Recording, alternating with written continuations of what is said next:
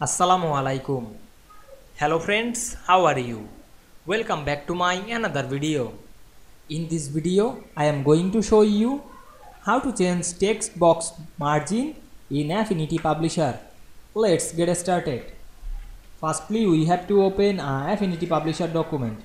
Now we want to change the text box margin. Go to the text box pages and select the text box.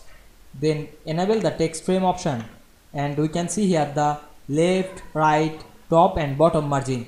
You can change any margin. Select this and applying to our keyboard number. Now I apply 8 point. Then press enter on our keyboard and we can see we make the margin 8 very easily.